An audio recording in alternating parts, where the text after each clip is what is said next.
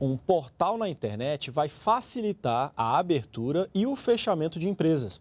A medida faz parte do Simples Nacional, que prevê menos burocracia para as micro e pequenas empresas.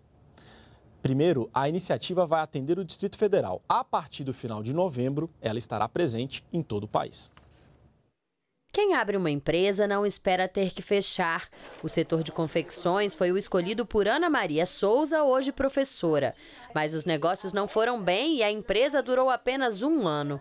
Ela levou muitos meses para conseguir dar baixa no CNPJ e por pouco não perdeu a vaga no concurso em que foi aprovada. A junta comercial eu fui diversas vezes, fui à Receita Federal também inúmeras vezes, a Caixa eu fui também duas vezes. Em cada órgão desse que eu ia, eu tinha, por vezes, tinha informações desencontradas, orientações insuficientes. Então isso ia desgastando cada vez mais. Assim como a loja loja de Ana Maria, cerca de um milhão de empresas no país encerraram as atividades, mas permanecem com o CNPJ em aberto, segundo estimativas da Secretaria da Micro e Pequena Empresa. Por isso, um portal lançado nesta quarta-feira vai diminuir a burocracia para dar baixa nos registros inativos.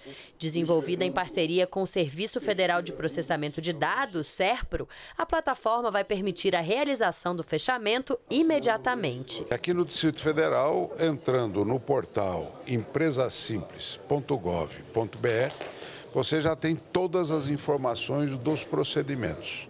Se você tiver assinatura digital, você pode fazer até tudo pela internet. Se não tiver, tem que fazer a preparação pela internet e ter um presencial no balcão da Junta Comercial do Distrito Federal para, ela, para que se dê é, seguimento com assinatura manual.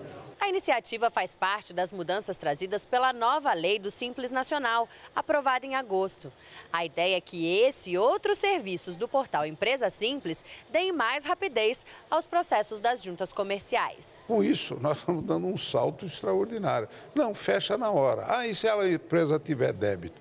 Ué, o próprio, próprio Código Tributário Nacional já fala que o remanescente é assumido pela pessoa física no limite da sua participação no capital. Já está regulado isso. Não precisa manter uma empresa aberta custando, né, tendo burocracia. Fecha, porque se tiver devendo, vai pagar.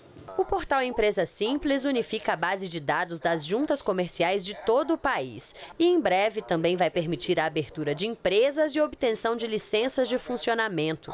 O site ainda contará com uma ferramenta eletrônica de comércio com todas as informações de negócios, o que vai aproximar compradores e vendedores.